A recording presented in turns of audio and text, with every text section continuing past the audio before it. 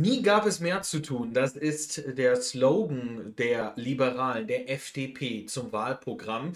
Eine weitere Ausgabe von Update Spezial hier bei Dercho TV dienstags und donnerstags hier auf YouTube zu sehen und auf derchotv.de selbstverständlich. Hier geht es heute um das Wahlprogramm der FDP. Kurz zusammengefasst, damit ihr wisst, was die Liberalen wollen und ob ihr sie am 26. September wählen wird. Eure Entscheidung. Wir blicken natürlich auch noch auf die aktuellen Wahlumfragen.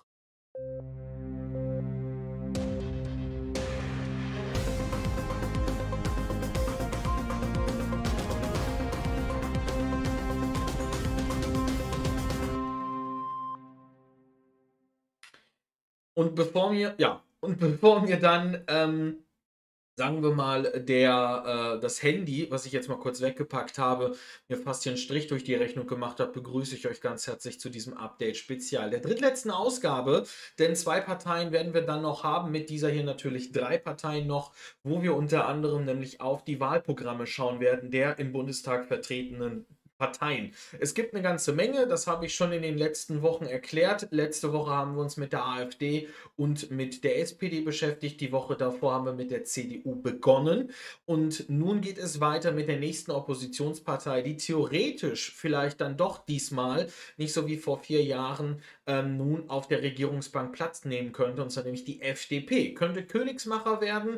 Im Moment schaut es gut aus. Leichte Verluste eigentlich quasi in den neuesten Umfragen beziehungsweise keine, nee, Quatsch, leichte Verluste, was laber ich denn da eigentlich? Eher Gewinne zu äh, Gewinne äh, im Gegensatz zu anderen. Wir werden nämlich dann auch gleich auf die neuesten Umfragen nämlich schauen, denn äh, dieses äh, Update-Spezial ist ausnahmsweise am Tag, wo ihr es seht, nämlich aufgenommen worden. Heißt auch, wir können äh, die Forsa-Umfrage vom heutigen Dienstag, dem 7. September nämlich ebenfalls mit reinnehmen.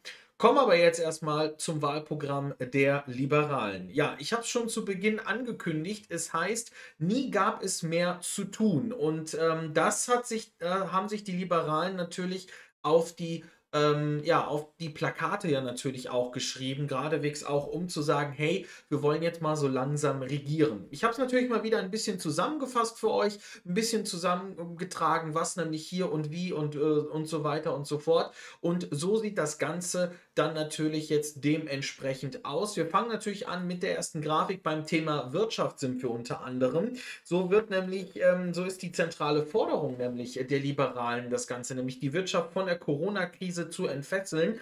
So will man unter anderem auch auf soziale Marktwirtschaft setzen. Die Unternehmenssteuerlast soll auf 25 Prozent winken. Und man möchte die Gewerbesteuer abschaffen. Das sind Pläne, die natürlich, sagen wir mal, bei anderen Parteien natürlich jetzt nicht so auf Zustimmung treten, aber zumindest unter anderem bei äh, möglichen Koalitionen, äh, Koalitionsverhandlungen wahrscheinlich wohl auch eher der FDP ja zugeschrieben wird. Wie gesagt, es ist ja eher so, dass er die FDP ja eher mehr der Wirtschaft ja nahe und natürlich da dann auch hoppala, ähm, äh, eher mehr, sagen wir mal, andere Dinge tun will. Schauen wir dann auf das Thema Klima, nee, Steuern nämlich. So will man unter anderem die Steuerlast, so heißt es nämlich selbst, ähm, bei der Einkommensteuer, so heißt es, soll der Mittelstandsbauch abgeschafft werden. Heißt also auf Deutsch übersetzt, die Steuerlast bei kleineren und mittleren Einkommen soll gesenkt werden. Nur, äh, der Spitzensteuersatz soll ähm, äh, schrittweise verschoben werden. Das Ziel ist hier, ähm, dass erst ab einem Jahreseinkommen dieser Spitzensteuersatz von äh, 90.000 Euro greift. Also das heißt, die, die dann unter 90.000 Euro sind, dann quasi weniger, ähm, sagen wir mal, äh, den Spitzensteuersatz bezahlen möchten. Man möchte keine äh, Anhebung des Spitzensteuersatzes haben an sich, also man will nur die, ähm, äh, den Spitzensteuersatz äh, verschieben, aber nicht gleichzeitig auch noch an Prozenten anheben. Man lehnt auch eine Erbschaftssteuer ab, dass halt natürlich Erben entsprechend von möglichem Geld halt zahlen äh, müssen. Und äh, der Solidaritätszuschlag, das will die FDP komplett abschaffen. Man äh, setzt auch auf Steuererleichterung, aber auf der anderen Seite, das will man auch, wenn man an einer Regierung beteiligt ist, wollen die Liberalen auch schnell wieder eine Schuldenquote von nämlich 60 Prozent, unter 60 Prozent des Bruttoinlandsproduktes, des BIPs nämlich erreichen. Das wird auch noch gleich Thema sein.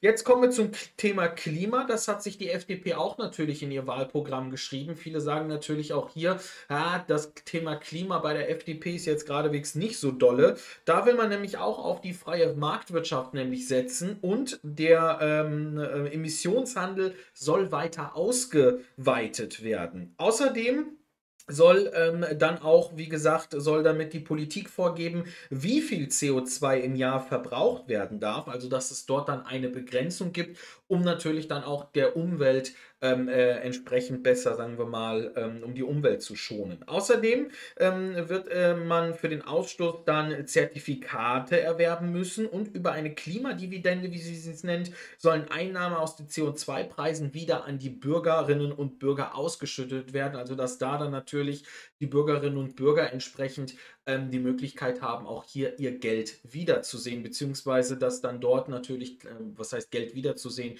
eher, dass sie wieder was bekommen.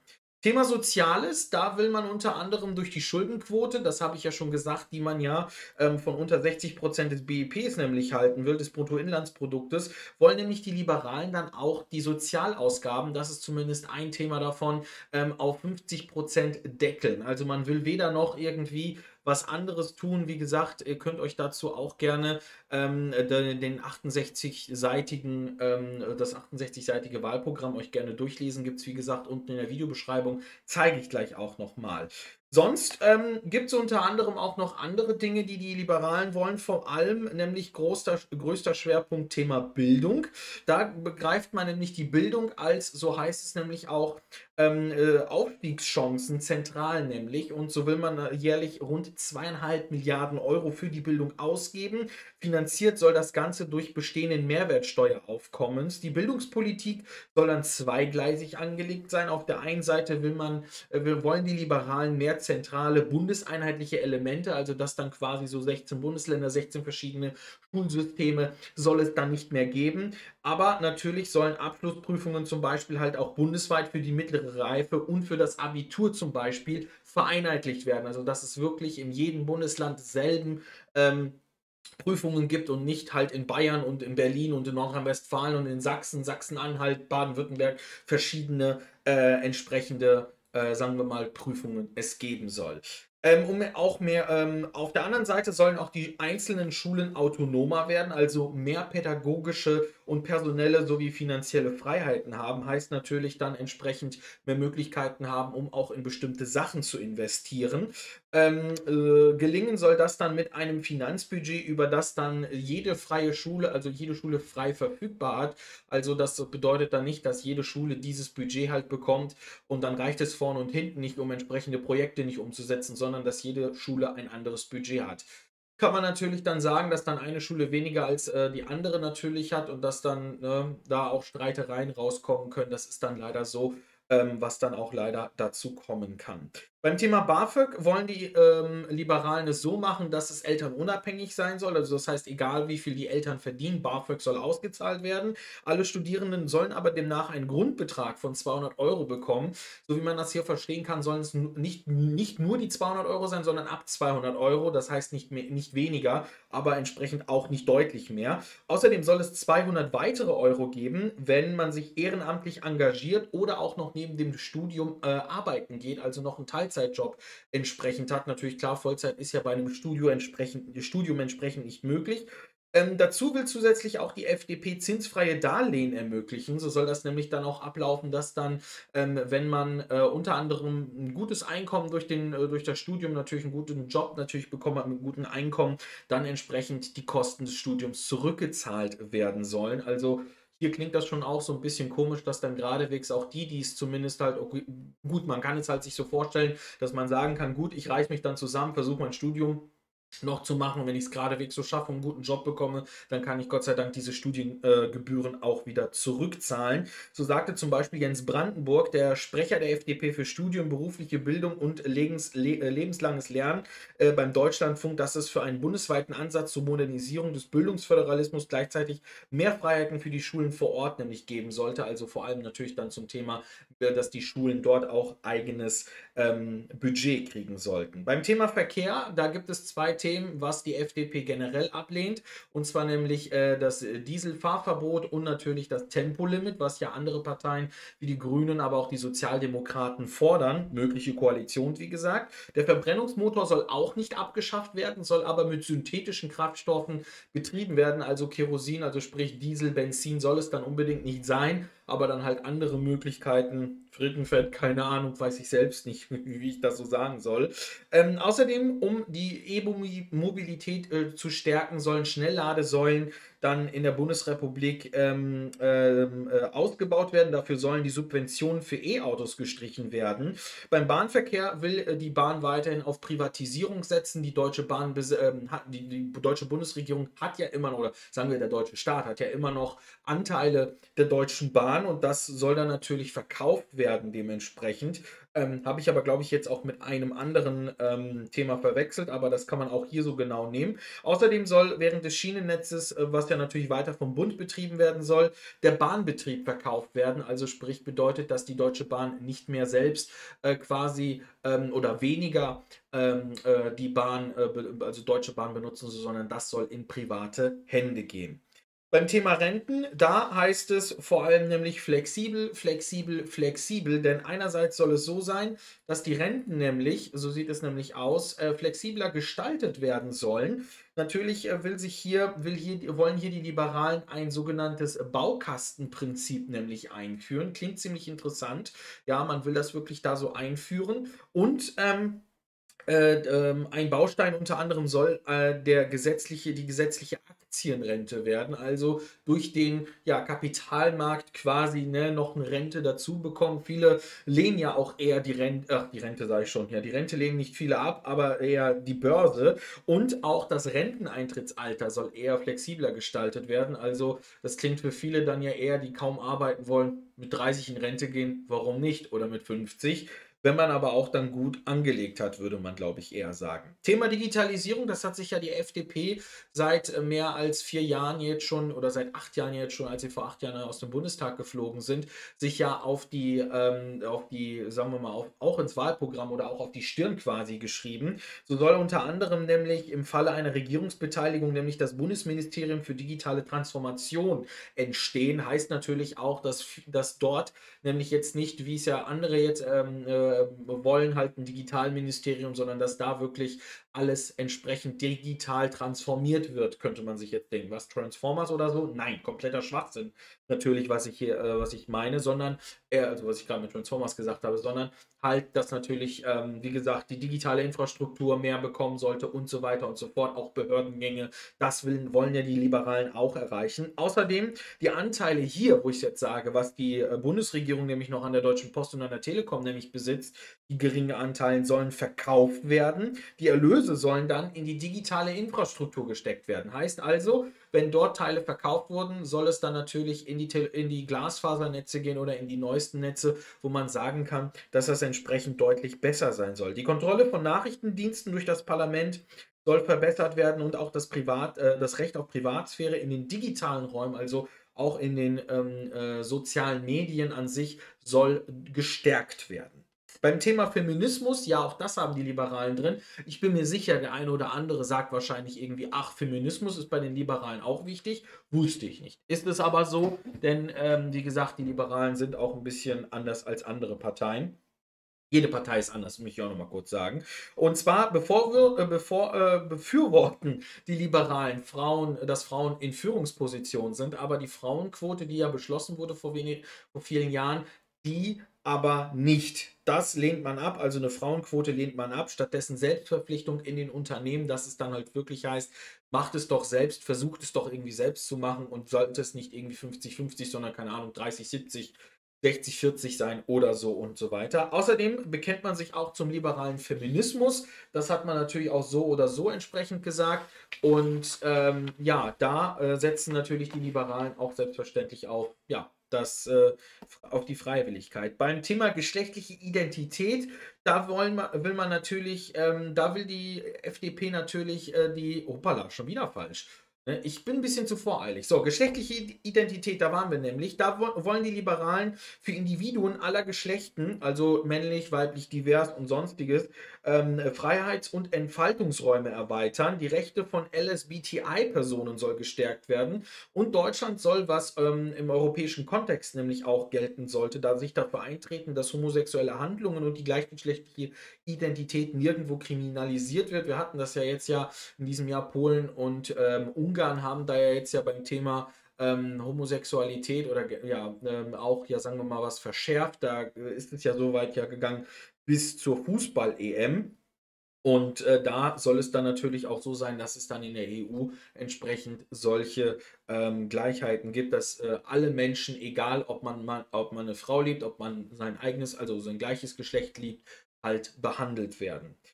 Beim Thema Justiz, da gibt es jetzt nicht entsprechend Justizreform, sondern eher Thema ähm, äh, zum Beispiel Abbruch der Schwangerschaft und so weiter, sondern äh, Cannabis und äh, doch Cannabis und den Schwangerschaftsabbruch nämlich. Das ist äh, das, worauf auch die Liberalen nämlich setzen. Jetzt habe ich schon wieder falsch gemacht, aber was soll's, jetzt ist es richtig. Und zwar will man Cannabis legalisieren, kontrolliert auch freigeben, aber soll besteuert werden wie Zigaretten. Also Cannabis könnte dann entsprechend, wenn es legalisiert und kontrolliert verkauft wird in Deutschland, fast so teuer werden wie Zigaretten. Außerdem will man auch, wie gesagt, so sollen Steuereinnahmen in, äh, jährlich ähm, in Höhe von bis zu einer Milliarde Euro nämlich geben. Ob das wirklich so äh, dann auch bei den freien äh, Demokraten so ist, bei den Liberalen, das wird man sehen. Was jetzt hier nicht drin steht, was ich aber auch vorlesen kann, ist, dass der Paragraph 219a gestrichen werden soll aus dem Strafgesetzbuch. Der nämlich stellt die Werbung für den Abbruch der Schwangerschaft unter Strafe. Ja, der ähm, Paragraph 219a des äh, Strafgesetzbuches, der soll laut Liberale abgeschafft werden. Zwei Dinge, die die Liberalen natürlich auch wollen, ist unter anderem der öffentlich-rechtliche Rundfunk. Wir wissen ja von gewissen äh, Personen oder halt auch natürlich äh, Parteien, unter anderem von ein, zwei Parteien, dass man ja den öffentlich-rechtlichen Rundfunk gerne ja, sagen wir mal, reformieren möchte oder sogar gänzlich abschaffen möchte. Die Liberalen wollen ähm, die öffentlich-rechtlichen reformieren und plädieren auch auf eine Auftrags- und Strukturreform. Bedeutet bei der Auftragsreform vor allem deswegen, dass sich, die, dass sich ARD und ZDF, je nachdem, ob es dann beide noch geben sollte, ähm, beim Willen der FDP, oder halt ähm, nur noch eine Sendeanstalt, je nachdem, wie man sich das vorstellt, ähm, dass es dann halt wirklich auf die Themen gehen sollte. Bedeutet also natürlich dann Bildung, Information, ne, Unterhaltung sollen die Privaten machen und so weiter und so fort. Außerdem will man auch bezüglich des Bundestags etwas machen. Gut, von ähm, Reduzierung der Wahlkreise und so, wo wir jetzt ja bei der Bundestagswahl in diesem Jahr befürchten müssen, dass der nächste Bundestagswahl fast 1000 Abgeordnete nämlich haben könnte der größte Partei, äh, größte, äh, das größte Parlament der fast der Welt. Äh, China ist ja nur größer soll nämlich die Legislaturperiode äh, auf von vier auf fünf Jahre verlängert werden. In den Landesparlamenten ist es ja derweil so, dass ja, wie zum Beispiel Nordrhein-Westfalen, alle fünf Jahre ein neuer Landtag gewählt wird. Im Bundestag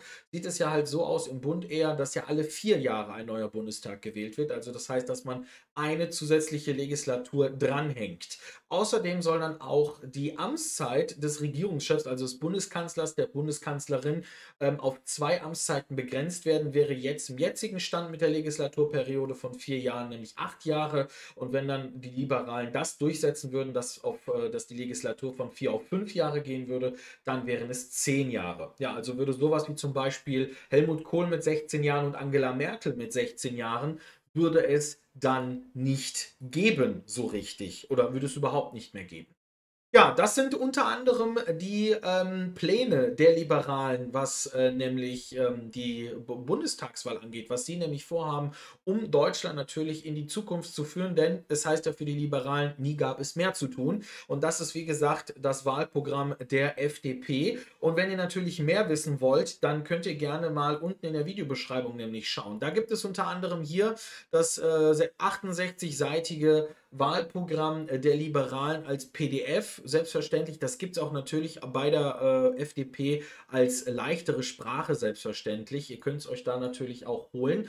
Generell möchte ich aber auch gerne darauf hinweisen, dass es natürlich auch andere Möglichkeiten gibt, ähm, äh, das natürlich äh, mitzubekommen. Es gibt die Webseite bundestagswahl-2021.de. Da könnt ihr natürlich unter anderem auf mögliche Koalitionen, Umfragen und die Kanzlerkandidaten bzw. Spitzenkandidaten euch angucken. Spitzenkandidat für die Liberalen ist natürlich FDP-Chef Christian Lindner. Vor vier Jahren hat er ja die FDP ja wieder in den Bundestag geholt, nachdem sie ja vier Jahre zuvor, 2000, ähm, ähm, äh, 13, so war das nämlich, hochkant aus dem, Parlament, aus dem Parlament geflogen ist und somit wieder da ist. Es gab ja auch unter anderem nach der Bundestagswahl 2013 ja schon die große Möglichkeit, dass es nach große Koalition, sprich CDU, CSU, SPD, Jamaika geben würde, sprich CDU, CSU, SPD, äh, FDP und Grüne, was dann am Votum der FDP gescheitert ist, beziehungsweise an der FDP äh, selbst. Ich erinnere nur an die Worten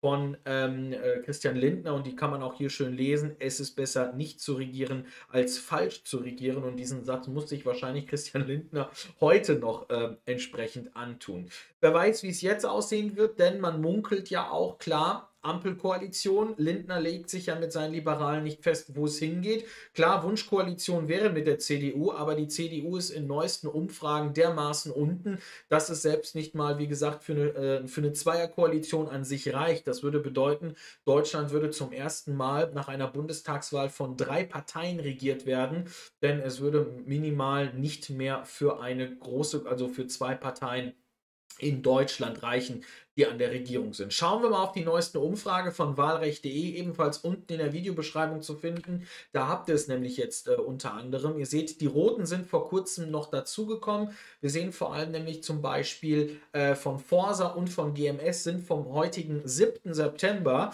Ähm, ich nehme es sogar heute an diesem 7. September auf, also geradewegs auch, wo ihr es heute sehen könnt. Und ihr seht zum Beispiel, wenn wir bei Forsa gucken, CDU nur noch auf 19%, FD, äh, SPD auf 25%, Grüne 17%, FDP 13%, Linke 6%, AfD 11%, alle anderen 9%. Bei der Forsa-Umfrage haben bei einer telefonischen Umfrage rund 2505 Menschen teilgenommen im Zeitraum zwischen dem 31. August und dem 6. September. Bei GMS haben, da kann ich schon mal sagen, 1004 Leute ähm, bei einer telefonischen Umfrage teilgenommen vom 1.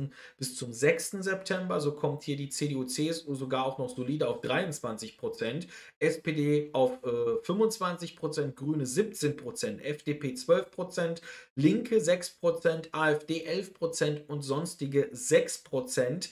Ähm, das ist zum Beispiel mit dabei und natürlich jetzt auch noch vor kurzem ja am Montag von INSA eine Umfrage rausgekommen. Da seht ihr zum Beispiel, da äh, gab es bei einer Online-Teilnahme, bei einem Online-Panel von 2052 Teilnehmern vom Zeitraum zwischen dem 3. und dem 6. September folgendes: CDU, CSU 20,5%, SPD 26%.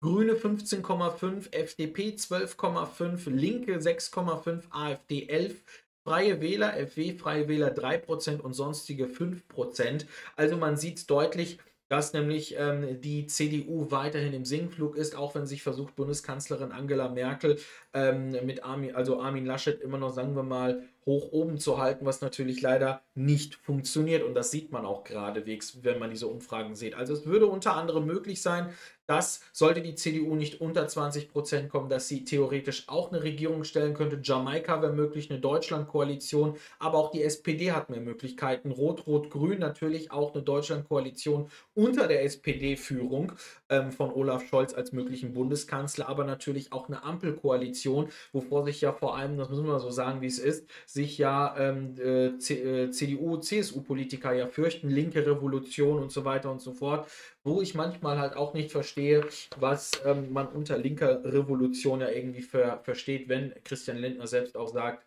weiter nach links wird, die, äh, wird, die, wird Deutschland nicht gehen, wenn ähm, ja, die FDP mit SPD und Grüne regiert. So sieht es aus. Ja, und so sieht es auch aus für heute mit äh, dem Update-Spezial. Am Donnerstag, dann, dem 9. September, gibt es dann das Wahlprogramm der Grünen, die ja erst weit oben waren und dann tief gefallen sind. Das muss man mal so sagen, wie es ist. Und ähm, jetzt dementsprechend wünsche ich euch natürlich einen wunderschönen Tag. Weiteres natürlich zur Bundestagswahl gibt es auch ab und zu auf derchotv.de, natürlich auch auf dem Twitch-Kanal von derchotv, twitch.tv slash derchotv. Schaut da mal rein, denn da gibt es am 26. September nämlich die Wahlen in Deutschland. Nicht nur Deutschland wählt, also der Bundestag wird neu gewählt, sondern auch das, Land, äh, das Landesparlament in Mecklenburg-Vorpommern, Landtagswahlen und das Rote Rathaus in Berlin. Die Abgeordnetenhauswahl wird ebenfalls stattfinden. Also so muss man es unter anderem auch mal sehen. Dankeschön fürs Zuschauen. Wir sehen uns wieder hier bei Dercho TV. Bis dahin.